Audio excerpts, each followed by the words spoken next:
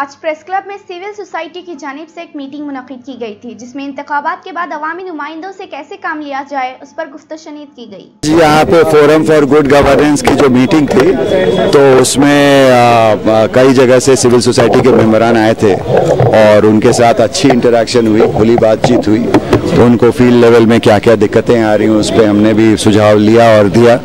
इसके अलावा civil society का एक बड़ा इंपॉर्टेंट रोल होता है कि जो है, ये पूरा जो है डेमोक्रेसी का जो एक्सरसाइज है, इसमें यही देखा जाता है कि जो चुना चुना, चुन करके आते हैं जो वो पब्लिक के प्रति उनकी क्या जवाबदेही उन्होंने क्या किया, क्या नहीं किया, क्या और कर सकते थे।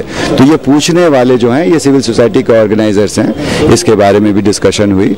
मुझे बहुत खुशी है कि फोरम फॉर गुड गवर्नेंस इस तरह का इनिशिएटिव ले रही है।